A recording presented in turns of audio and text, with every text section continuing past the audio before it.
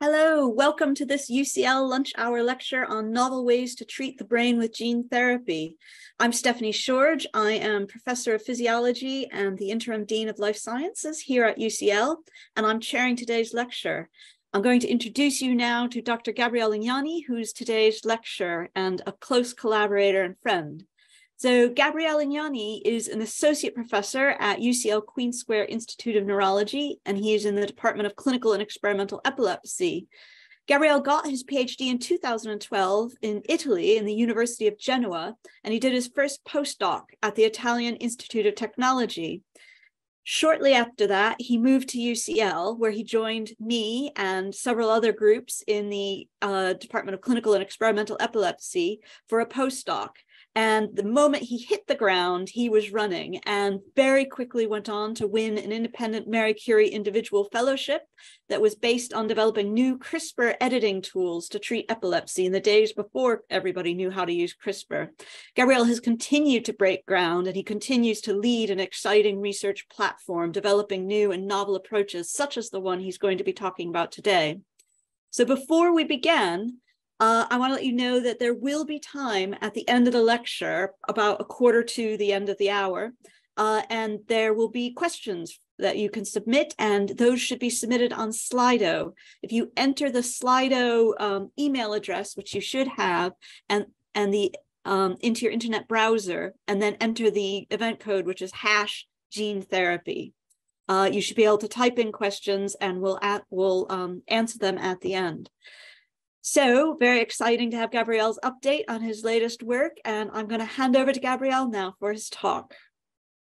Thank you very much, Stephanie, for the kind introduction. And uh, thanks for, uh, for also the invitation to give these uh, lectures. So today I, I will speak about uh, uh, one of the latest uh, approach that we developed in the lab. And just to let you know that my lab is quite a young lab, like five years old.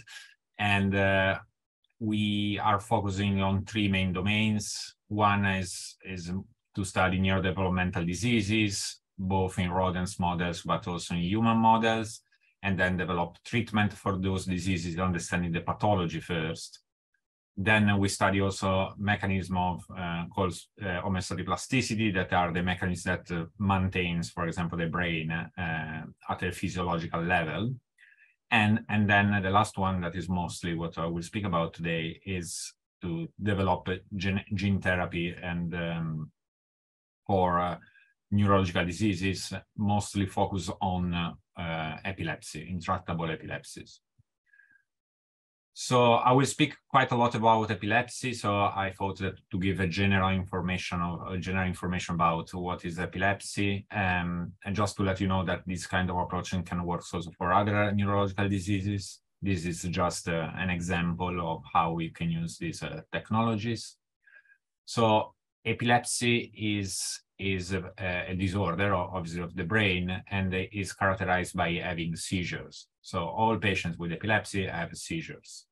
And the seizures is a transient occurrence of uh, symptoms that is caused by abnormal activity in the brain. And here, down here, can put the pointer. Down here, you can see that I represented in a simplified example in which uh, you see that uh, there is um, a big effect of excitation and less of inhibition that are the two forces that govern the, the, the, the brain. So basically, when you have an epileptic seizures, you have too much excitation and less inhibition. And so you have a disimbalance in the brain. And uh, I put this cartoon to show that there are different classification of epilepsies, all depending on also of kind of seizure that they have, and also different comorbidities. And I want to point out one here on the right, uh, the, one of the most important parts of the talk as well, the etiology of epilepsy. So as you see, there are many different etiology, and a lot of them are, are still unknown.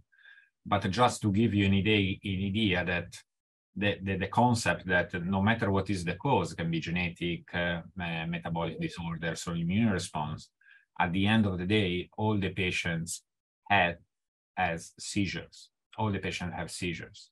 So this is the common symptoms of, of all uh, of all the epilepsies, no matter what is the cause.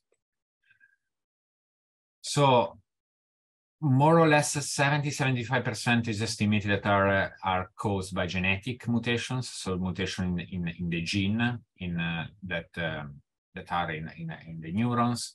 And uh, of these 70 75% actually is known uh, almost the 30% so not a big amount. And these are the names of all the genes found that when they were not working properly they had they cause epilepsies. There are several ones but it's still quite a, a, small number compared to the overall uh, numbers of patients. And uh, I think that you you are aware what is gene therapy, and I think uh, that is the correct thing. I will explain in the next slides, but just to let you know, if you have uh, genetic mutations that cause a pathology like epilepsy, with the gene therapy you can correct that mutation, so you can target the cause of the epilepsy. So gene therapy is an experimental technique and is, is the aim of this technique is to treat disease by modify the, the um, genetic materials of the patients, so on the cells. And you can do that, for example, if you have a genes that is not working properly, reintroducing a, a new healthy genes and treat the disease. Or even replace that gene, take it out and put back a, an healthy copy of the same gene or in the other way, if the the gene is causing a, a pathology and is to is working too to at a high level compared to normal levels, you can also decrease the activity of that genes. And gene therapy can be divided in two big areas, ex vivo, so modified in vitro cells, and then uh, retransplant back to patients, or in vivo using uh, different delivery methods the most used one that is also the one that I will speak about uh, is using uh, adeno-associated viruses that are not harmful viruses that can be used to deliver these genetic materials inside the cells and modify their properties. So to give you an idea of, uh, of uh, why it's uh, important to study treatment for epilepsy, this is the, uh, an overall idea of the clinical needs. So 1% of the population has epilepsy, so quite a lot, a lot of people in the world, like around uh, 50 million. And one third of these patients have no effective drug treatment. So there are no drugs can work to stop their seizures. And usually these patients have the so-called focal epilepsy, meaning that uh, all the seizures that I was explaining before, all that imbalance between the excitation inhibition in the brain, coming from the precise region of the brain, a very defined region of the brain, not from all the brain, but just a precise region. And here I put also some data to show that it's not just a clinical need, but it's also a financial and and uh, and society burden. And for these patients that have focal epilepsy, and uh, that have no drug treatment. Uh, that is mostly 70% of, of the patients of that one third with no effective treatment. So we're speaking almost of millions, millions of people worldwide. The only option for them that is not always feasible is the brain surgery. So removing that part of the brain where the seizures start. So to give you some numbers, uh, every year in the UK, 10,000 people develop refractory epilepsy. So that epilepsy that I was saying that is not treatable with the drugs. And uh, of these patients, only 2,000 are evaluated for surgery because it's, it's thought that they can have surgery. But at the end, only 500 are suitable for surgery. So there are a, a, at least 1,500 people that have no treatment at all, no drugs that works, and no options for surgery. And uh, this is the, the reason why is because you can imagine that uh, uh, resecting a part of the brain is quite invasive, invasive uh, procedures. And uh, depends where this region is, where the, the seizure starts. Sometimes you cannot remove that part of the brain.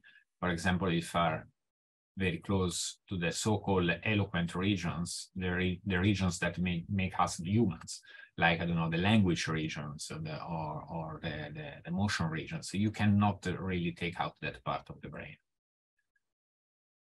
So these are, again, other numbers to show, as I said before, 50 million people worldwide have epilepsy. And uh, I want to show also here all that is not just seizures anyway for patients. You have Uh, also other complications and also a, a, high increase of depression and anxiety. So as I said before, is is a, a quite huge economic, social, and emotional burden. I as I say before, the idea of, of gene therapy, so replacing the mutation and and and correcting the, the problems in the brain, that the, the one that cause epilepsy, can be done with a very small percentage of, of patients because most of the time we don't know the cause, and most of the time it's not the other times it's not genetics.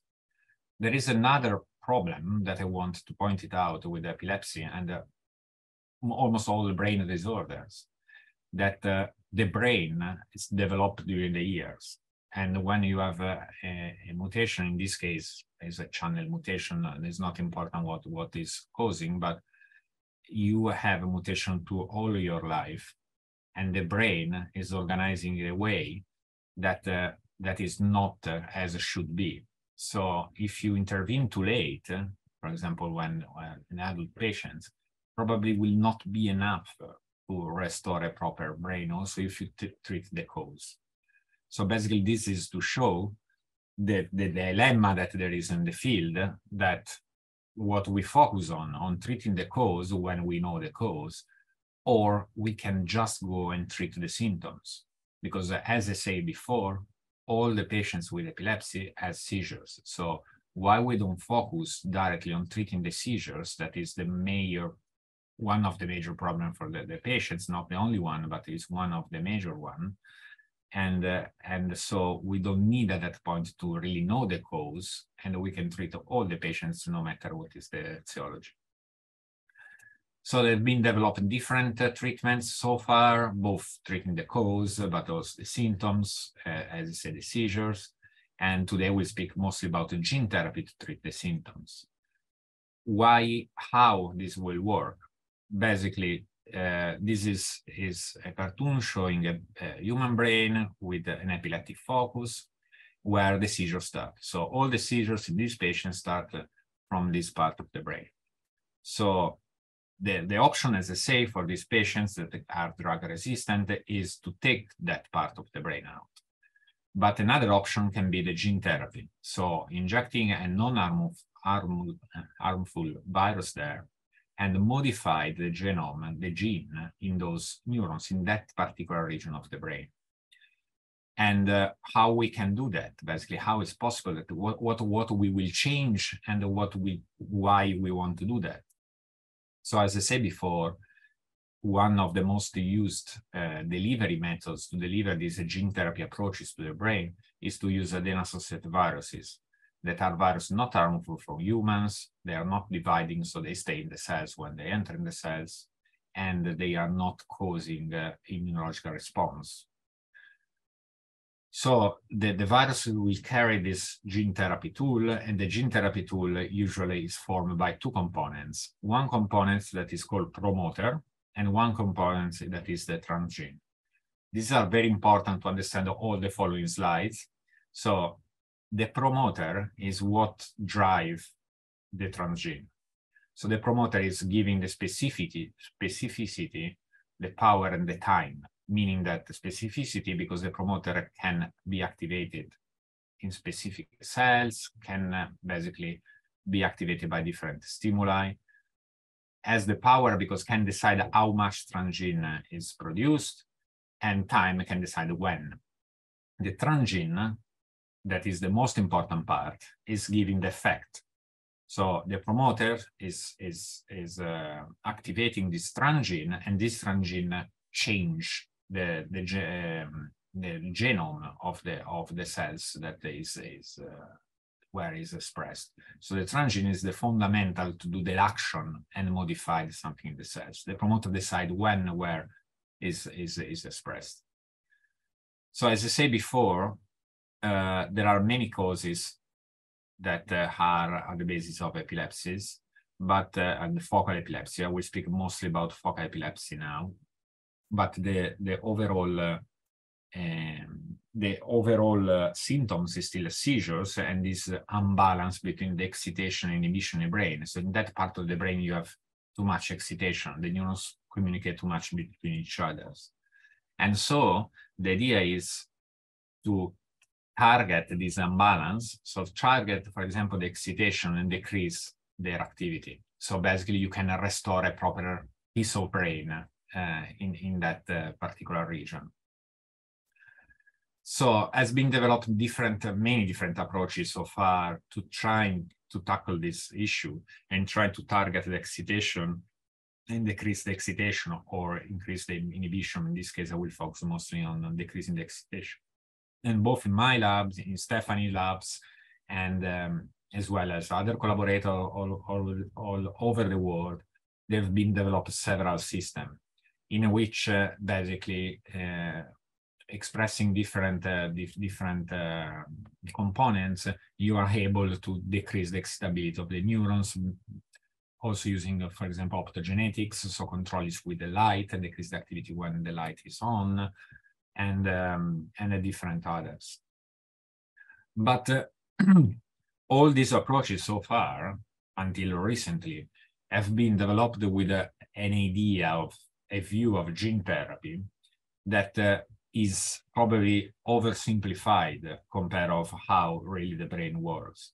Basically, the current gene therapy view that maybe is now is changing a bit is that uh, we have a normal brain, normal we are speaking when I speak about brain in this case, I, I speak about the, the focus, the, the, the, the epileptic focus.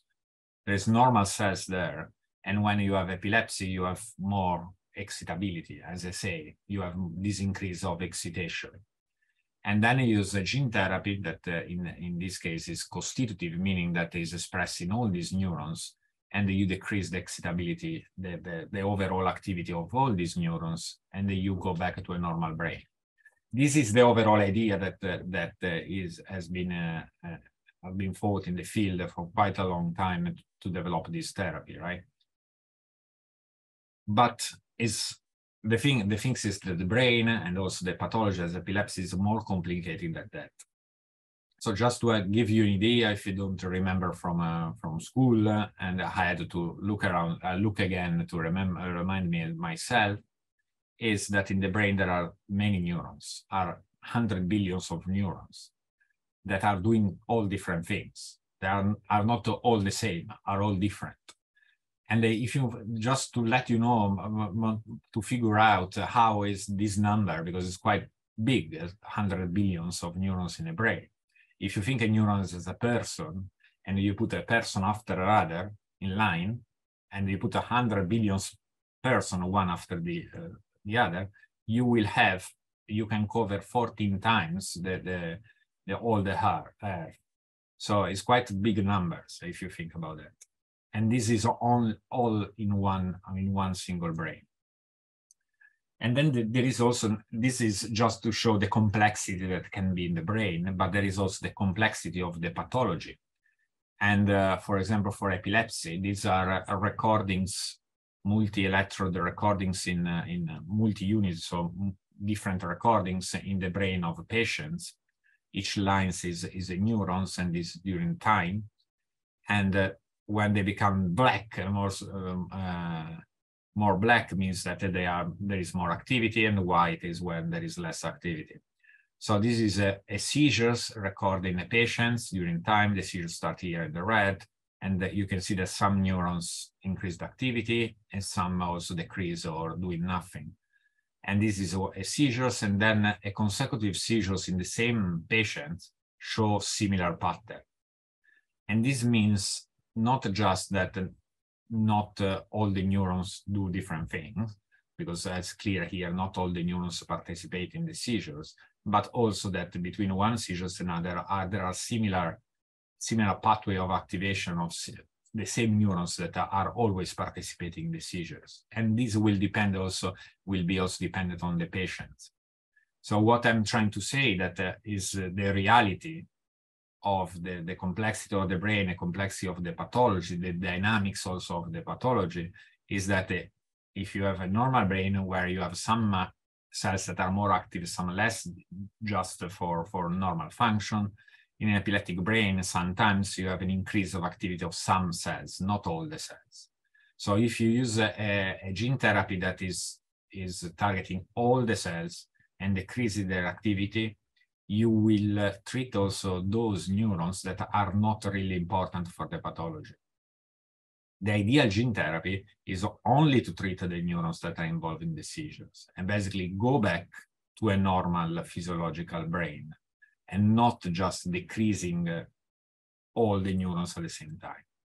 So I wanted to give an example, trying to, to, to explain it better, probably. I don't know, maybe it's even uh, I make it more complicated. But if you think a brain like London and you're trying to compare them, so the human brain has many neurons, many connections, as London has many houses and many streets, okay? And uh, epilepsy is divided into different regions, and some regions are more prone to epilepsy. For example, this region here called temporal lobe, that is important, for example, for memory and emotions, and uh, as well as London's main council.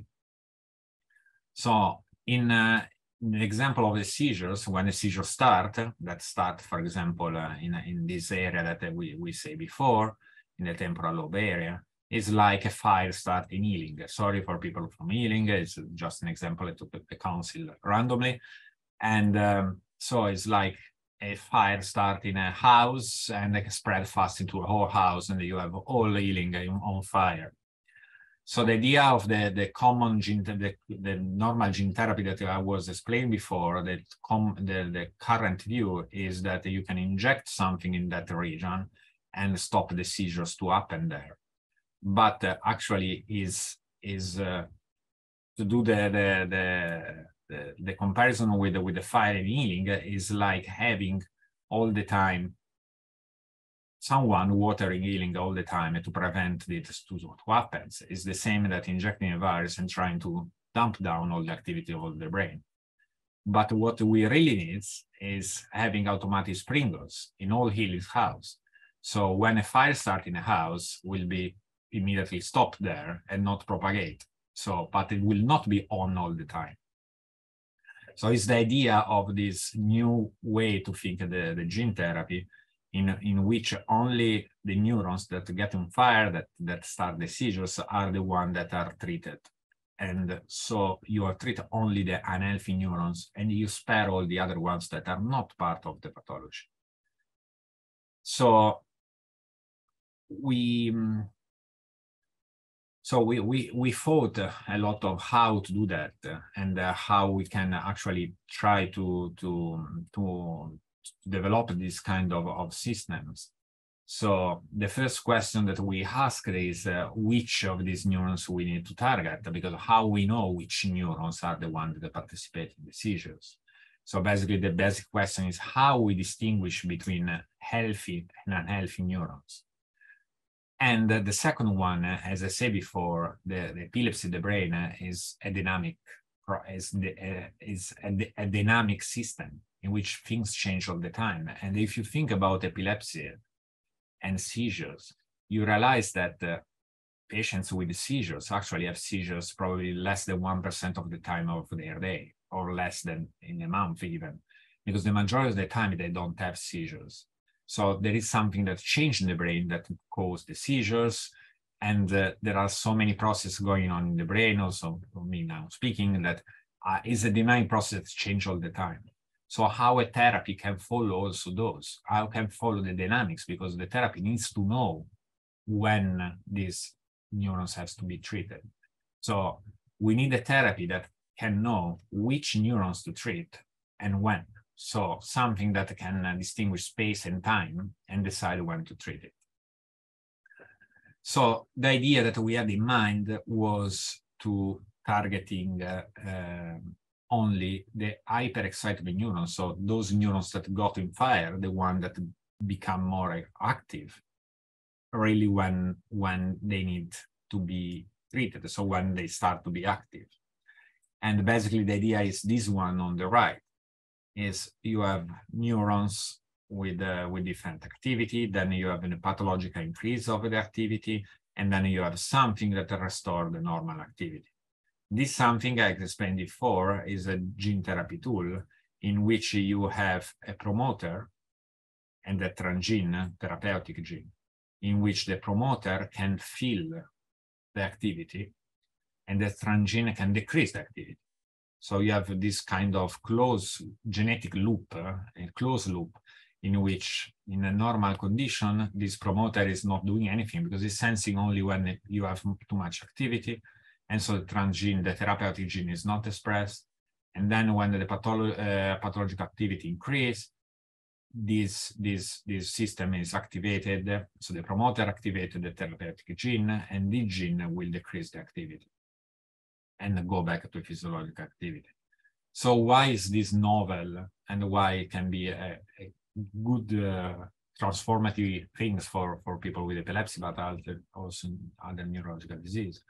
Because it's a therapy that can detect the activity levels of neurons and neuronal sequence by its own, can be turned on automatically, and basically decrease the activity and, and prevent the, the, the, the seizures to happen and is is most important point is the tool that decide which neurons and when to treat. So basically, you not need to decide a priori which kind of neurons you want to treat and when. You just put your gene therapy there, and the gene therapy by its own will decide when the neurons needs to be treated, so when the activity is too high, and and when. So when and where, which neurons, so which neurons is uh, the, the, the, in which neurons the activity increase, and when when when this uh, activity increase. And uh, it's also important that because of that, you can target only the epileptic focus, as I say, and uh, all the other regions of brain are spared, and also all the neurons that are healthier, not participating in seizures, are also spared.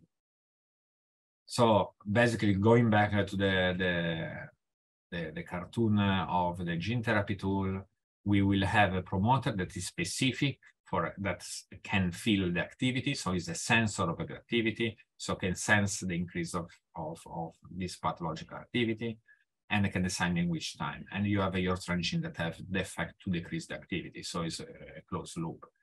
And basically, the, the, this is a promoter that can sense the change of, of the, the, can sense the pathology. And in principle, that this principle, this principle can be used to many other diseases. So any disease that you can think about, neurological disease, but also not neurological, if you know what what change in the pathology and use that to drive a therapeutic tool to rescue that that change, you can create this this closed loop tool for any any pathology. So I, I, I wanted to put some data just to show you some uh, to have an idea of uh, what we have done. I will explain it. This is not. Uh, I, I didn't put too much details on what which promoter we use, which transgene we used. I can say it now so you, you, you understand what, when I write something, what, what, what does means. As promoter, as I say, we, we use the, a sensor of activity that uh, is a promoter of a gene uh, of a family of gene that is called immediate early genes that are genes that can respond to activity. And this gene is called uh, CFOS. And so we use the promoter of this uh, CFOS gene and the transgene that we used is something that also Stephanie here has developed quite a few years ago, is a potassium channel gene called KV1.1 that in this case we call EKC, that is engineered potassium channel because Stephanie also engineered that to make it working even better. Is a potassium channel, and potassium channel very important to decrease the if is eh, their level increase, they can decrease the excitability of the cells.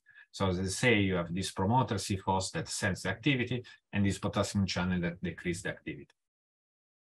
So first of all, we tested also if you inject this, uh, this, this system in the brain of, of rodents, if that will change the, the normal physiology, normal behavior of, of these animals, because we want to be sure that we were not affecting any normal functions and we did a, a test with the open field, so put the mouse in an open uh, an open arena, and going around, and uh, and calculate uh, how much anxiety they have to go in the center that is more open compared to the borders.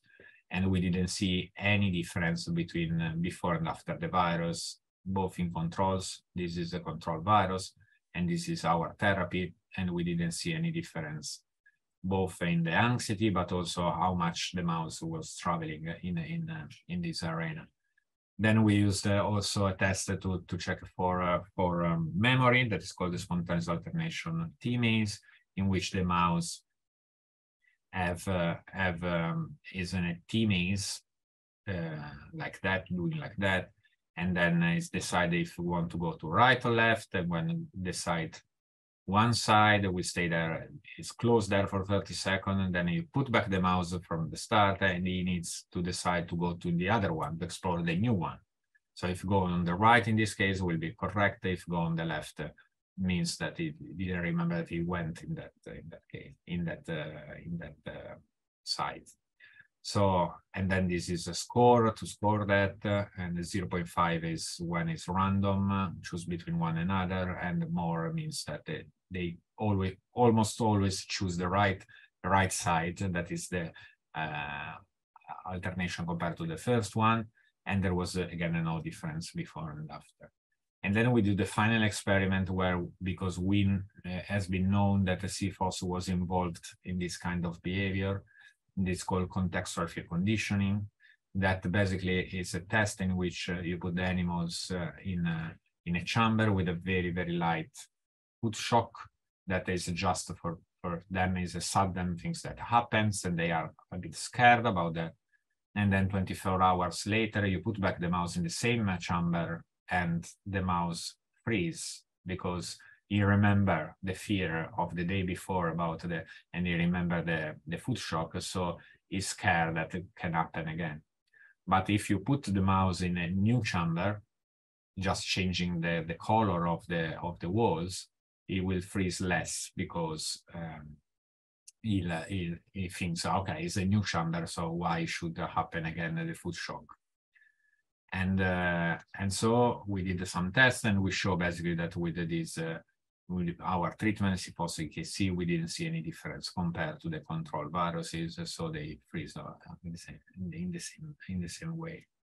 And then we did an experiment to actually show that we can decrease chronic seizures because what we want to do, right? We want the idea is then to to inject this uh, this therapy in a focal in, um, in epileptic focus and decrease the seizures.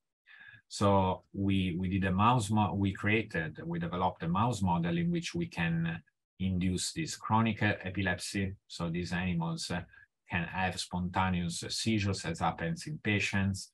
And then we impl implanted wireless transmitters, put in transmitter to record their activity in the brain. And we can and we recorded the seizures 24 7 for, for two weeks. Then we inject the virus and then uh, again we record the other two weeks afterwards to understand if actually we can decrease the number of seizures in these animals.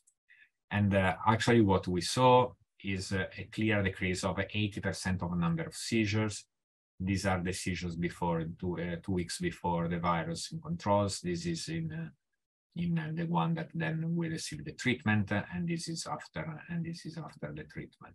So we saw a decrease of 80%. That is quite a, very good decrease, meaning that usually the drugs um, is considered that works if decrease at least 50% the number of seizures. So here we have 80%, so it's going even above the, the normal threshold for a, an anti-epileptic drug.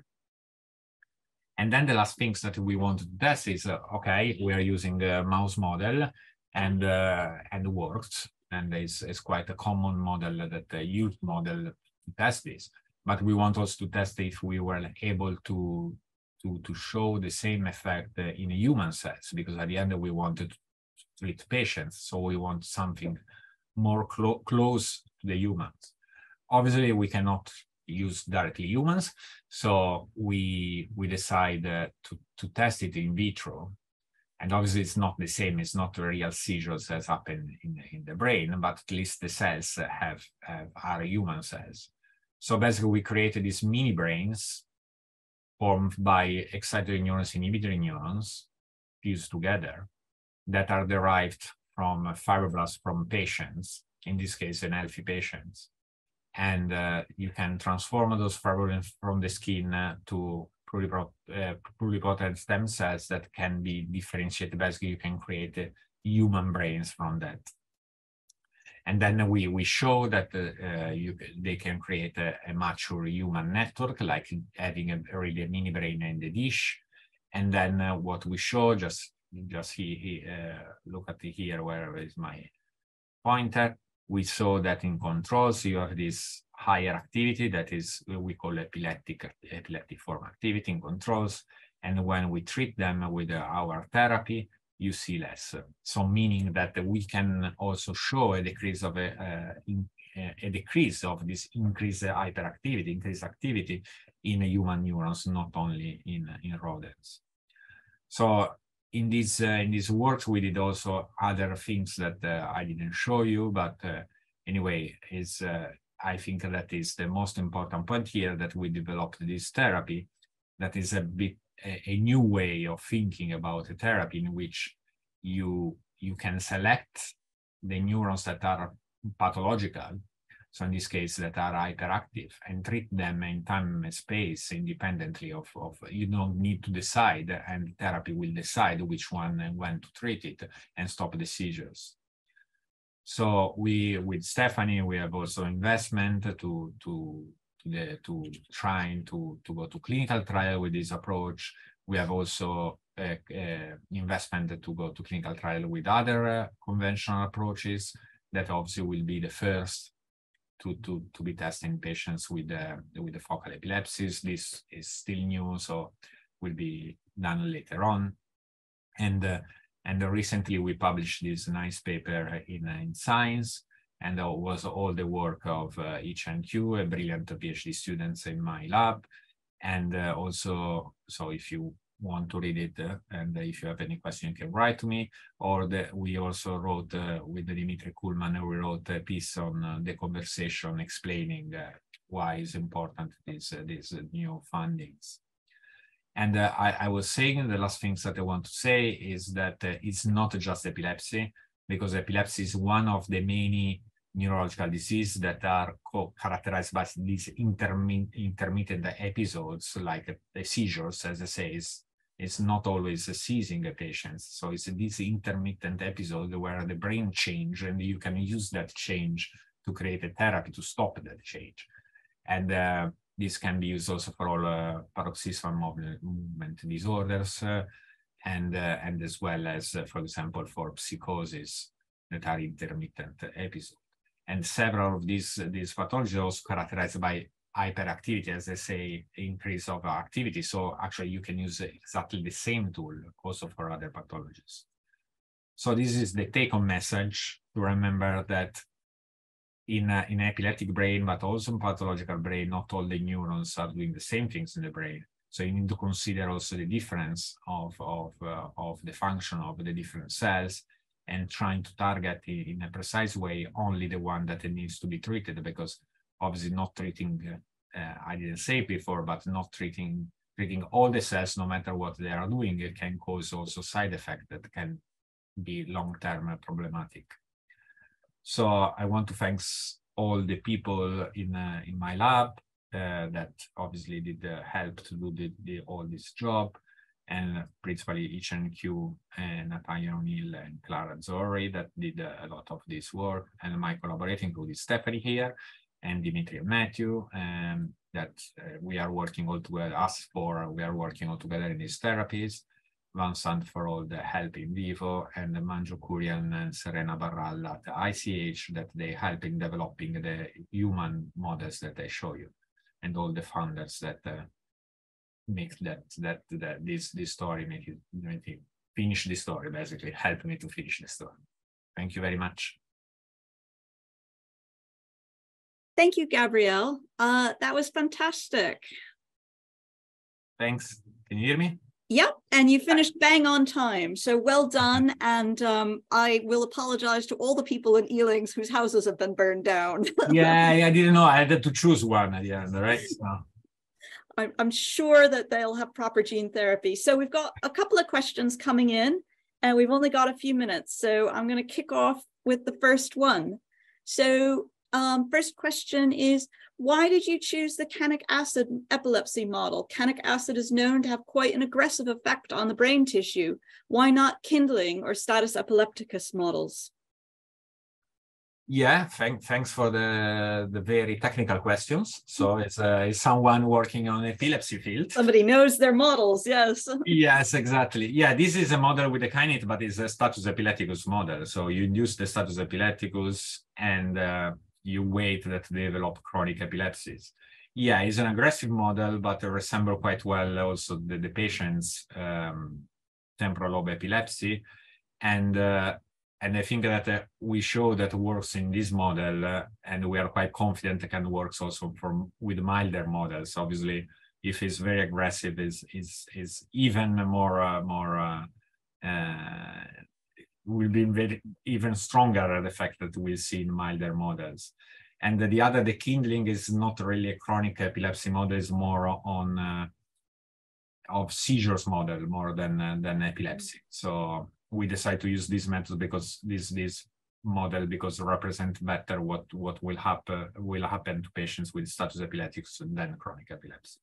And just to clarify, this was intraamygdala canic acid, not systemic canic acid. Yes, intraamygdala canic acid, yes. So really, yeah, targeting a much smaller amount of canic acid and less damage, I think, than the um the, the, the yes. So it's, it's less damage in the hippocampus. Yeah. yeah. Great. Well, thank you. Um, I think the next question is um, how will this approach be used in patients and what kinds of patients are the first ones that you think will come through the queue? Yeah, actually you can answer even better than me, Stephanie, but uh, um, is something that that also Stephanie pioneered this this uh, idea of this uh, gene therapy. So the the first idea is the idea is to to start with the patients that can have surgery. So patients with focal epilepsy that can undergo surgery, drug resistant, but that can have a surgery. And then offer these patients the, the gene therapy. And so they can decide if having immediately the surgery or the gene therapy. And then uh, after gene therapy, if they decided for gene therapy, they can decide later on if have surgery or not, or continues to stay like that. Maybe the, the gene therapy works perfectly, but we still have the option, the safety option to remove that part of the brain as was previously decided for these patients. Obviously, our target will be also for patients that cannot have surgery, but this will be a second step. Right. Great. Um, so next question. Um, the gene therapy aims to target only the epileptic neurons. To what extent were healthy neurons prevented from reducing their excitation in your mouse models? Yeah, it's very good uh, questions. It's very difficult to to assess that uh, as well because as, as I say before, the, the, the epileptic brain, but uh, the brain is very dynamic, so the activity change all the time. So we did some tests and we show basically that uh, if we target uh, only those neurons that are hyperactive after seizures or after increase of pathological activity in epilepsy, we are able to decrease the following seizures and following pathological activity. So we think that we can target just the ones that are important for the seizures. So sparing completely the other ones. If some of these neurons are also healthy, will increase their activity for some reason, maybe they can be decrease their activity with the gene therapy, but uh, we didn't see any bad side effect on that. So I'm quite confident we are targeting the right ones. So that's, yeah, and that kind of, well, sort of blends into the next question, which is can this approach uh, interfere with normal brain functions? Yeah, exactly. Is uh, is the slides that I put there for the behavior in mice showing uh, that um, that we are not affecting basal behavior, but basic physiological behavior. Actually, I skipped uh, one one part because uh, I thought that it was too long to explain, and I saw that the limit uh, was close to the end of the talk, basically we did another experiment in which we induce seizures and then test the behavior after. So after activating this virus, and actually we see a bit of improvement of the behavior after. So meaning that also, if you mm. think of patients that have seizures, and uh, usually after a seizure they have a memory impairment uh, for a bit of time after the seizures. In this case, with also this therapy, if happens the seizure, hopefully we prevent completely the seizure, but if happens, this can also help the memory afterwards. And while we're on memory, sorry, I'm pelting you with questions, but while we're on memory, um, as you know, patient HM uh, was alive. If he was alive today with his intractable seizure disorder, would it have been possible to treat his seizures with gene therapy without without such surgery?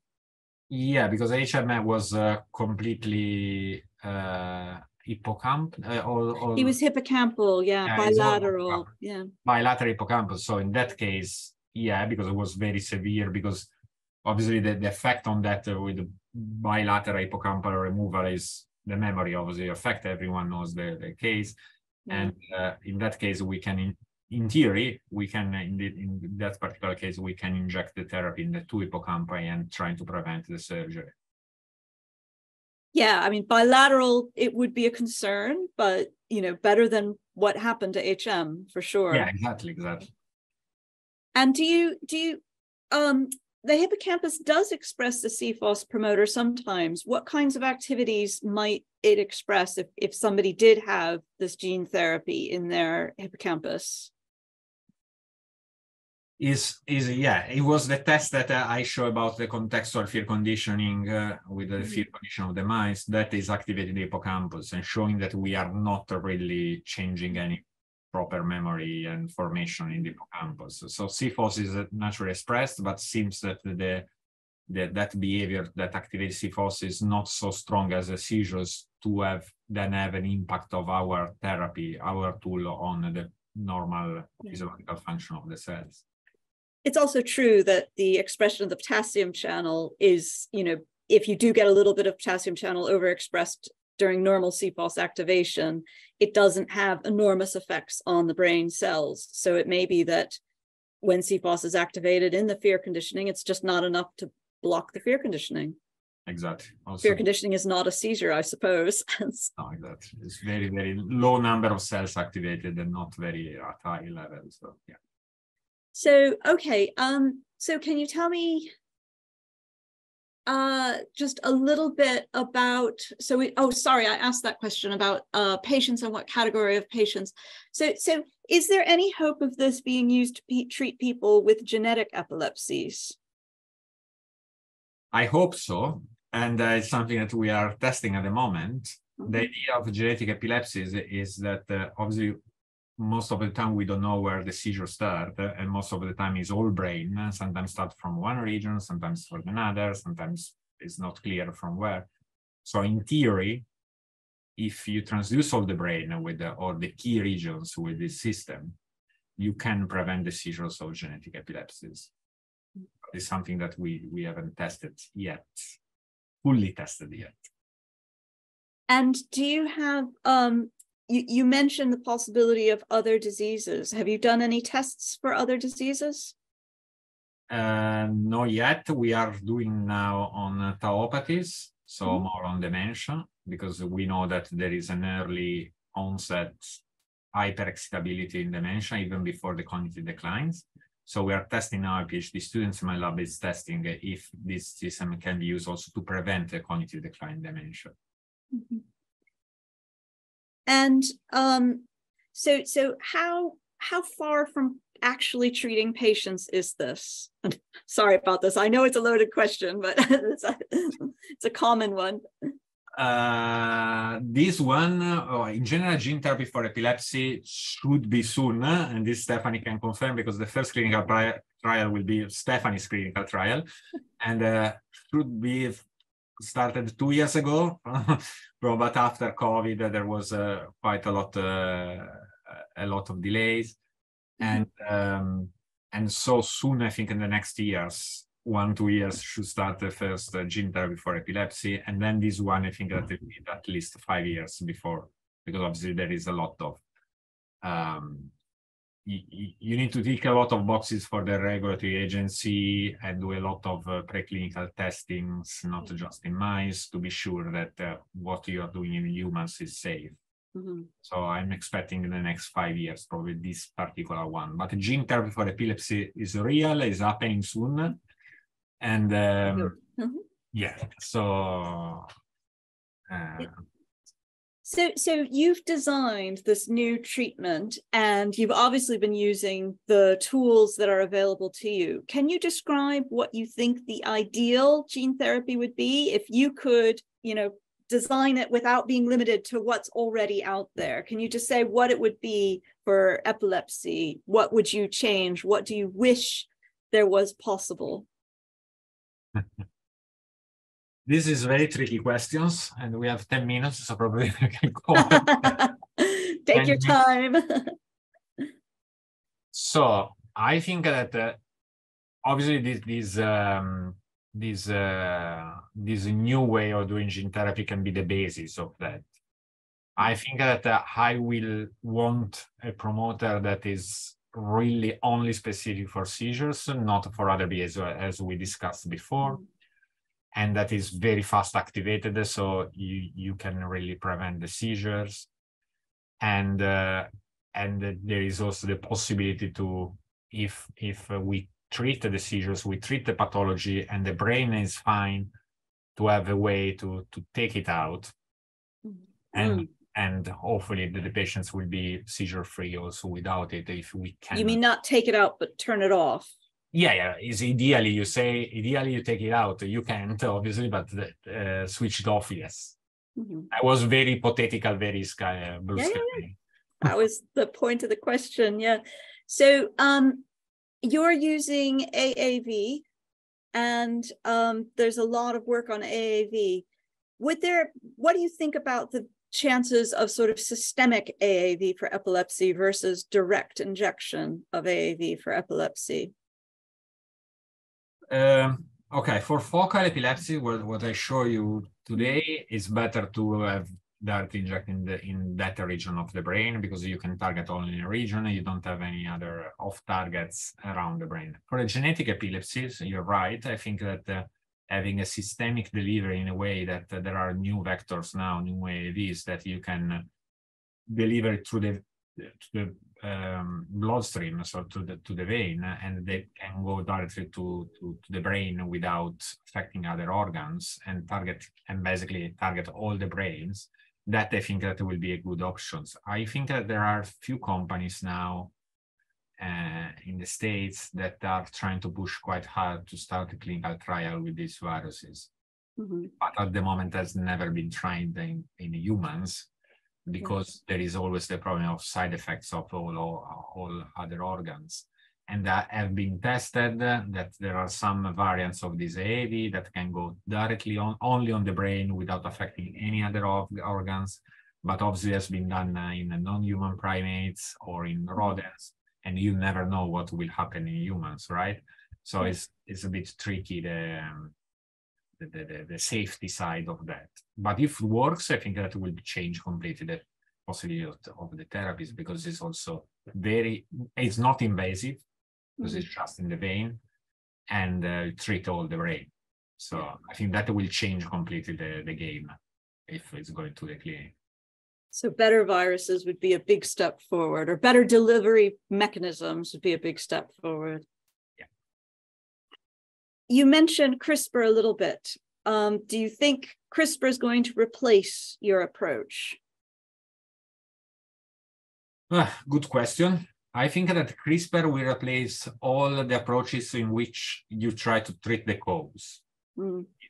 So if you try to treat the cause, CRISPR what it can do is correct the cause mm. instead of, of adding a new gene and, and treating it is more is a system that you can go there and correct directly the mutations and the cause. Mm-hmm.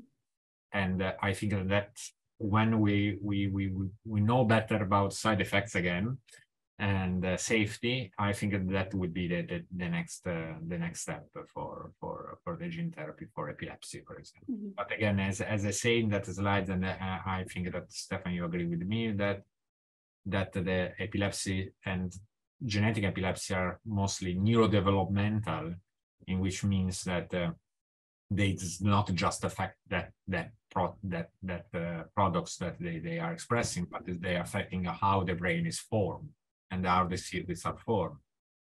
So if you want to correct the cause, uh, you need to do very early. And very early means that you need a, system in place that you can do a, a, diagnosis very, very early, that at the moment is not really feasible. Um, but actually, if you want, if, uh, and most of the time, uh, the clinicians say, ah, these patients have epilepsy because they see the seizures, right? Because you don't know the cause. So at that point, probably it's too late to correct the cause. And that in that case, I think as as also I think also you agree, it's better to try to treat the symptoms at that stage. If we are we are aware of the what is causing the pathology early on, before all these things happen, then treating the cause is better. But I think that we are, we are a bit far from that.